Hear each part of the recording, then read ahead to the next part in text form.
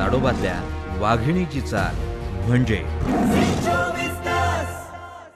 दिल्लीच्या शेतकरी आंदोलनातील टूलकिटचे धागेदोरे आता थेट मराठवाड्यापर्यंत आलेले आहेत. टूलकिट ज्या तिघांनी तयार केलंय त्यातील एक संशयित शंतनू मुळूक हा बीडचा आहे. त्यानं अटकपूर्व जामिनासाठी औरंगाबाद खंडपीठात अर्जही केला आहे आणि त्यावर आज सुनावणी होणार आहे. दिल्ली पोलिसांनी शंतनूच्या बीड आणि औरंगाबादच्या घरची झाडाझडती घेतली आहे अशी माहिती देखील आता पुढे येते. बीड आणि औरंगाबाद इथल्या बँक खात्यांची देखील चौकशी आता पोलिसांनी सुरू केली आहे. कुठून त्याच्या खात्यावरती पैसे आले का किंवा कुणाला पाठवले का याची देखील आता पोलीस सध्या चौकशी करतायत. तेव्हा टूलकिट प्रकरण आता त्याचं कनेक्शन जे आहे ते राज्यापर्यंत येऊन पोचलेलं आहे. हा शंतनू मुळूक हा मूळचा बीडचा रहिवासी आहे आणि शंतनूच्या जामीन अर्जावर आज सुनावणी होणार आहे. कोण आहे शंतनू पाहुयात? प्राथमिक शिक्षण बीडमध्ये घेतलं नंतर अमेरिकेतून शिक्षण घेतलं. शंतनूचे वडील शिवलाल बीडचे माजी नगराध्यक्ष होते. चुलत भाऊ सचिन मुळूक शिवसेनेचे बीड जिल्हा प्रमुख होते. शंतनू स्वतःला पर्यावरणवादी म्हणवतो. लॉकडाऊन लागल्यानंतर शंतनू पुन्हा बीडमध्ये आला.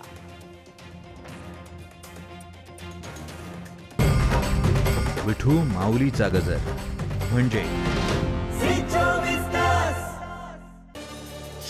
आरोग्य कर्मचाऱ्यांच्या कोरोना लसीकरणासाठी आता वीस खासगी रुग्णालयांना पालिकेनं परवानगी दिली आहे. ह्या वीस रुग्णालयांना त्यांच्या कर्मचाऱ्यांना लस देता येईल. आजपासून हे लसीकरण सुरू होऊ शकेल. अनेक खासगी रुग्णालयांनी लसीकरण प्रक्रियेत सहभागी होण्याची इच्छा दर्शवली होती.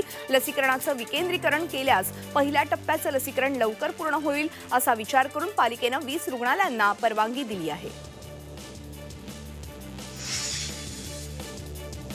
मुंबई महापालिकेच्या फ्रंट वर्कर्ससाठी कोविड लसीकरण सुरू आहे आणि त्यामध्ये पालिकेचे कर्मचारी बेस्टच्या कर्मचाऱ्यांचं लसीकरण केलं जाणार आहे. प्रत्येक कर्मचाऱ्याला लसीकरणाच्या तीन संधी मिळणार आहेत आणि तीनही वेळेस कर्मचारी न गेल्यास त्यांचं नाव मोफत लसीकरण यादीतून वगळलं जाईल.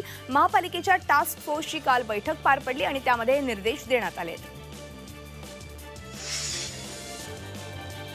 कोरोना रुग्णांची वाढती संख्या लक्षात घेऊन अकोला जिल्ह्यामध्ये पुन्हा निर्बंध लागू करण्यात आलेले आहेत. अकोल्यामध्ये जमावबंदी धार्मिक राजकीय कार्यक्रमांना बंदी करण्यात आली आहे. पाचवी ते नववी पर्यंतच्या शाळा देखील आता बंद ठेवण्यात आल्या आहेत. तसंच कॉलेजेस बंद ठेवण्यात येणार आहेत. शिकवण्या वर्ग बंद ठेवण्यात येणार लग्न समारंभात पन्नास व्यक्तींनाच परवानगी देण्यात आली आहे. अठ्ठावीस फेब्रुवारीपर्यंत हे निर्बंध लागू करण्यात आलेत. नागपुरात कोरोनाचा विळखा पुन्हा घट्ट होत चाललाय. काल नागपुरात चारशे अठ्ठ्याण्णव कोरोनाबाधित रुग्ण वाढलेले आहेत. शहरामध्ये ग्रामीण आई भवानीचा गजर. म्हणजे?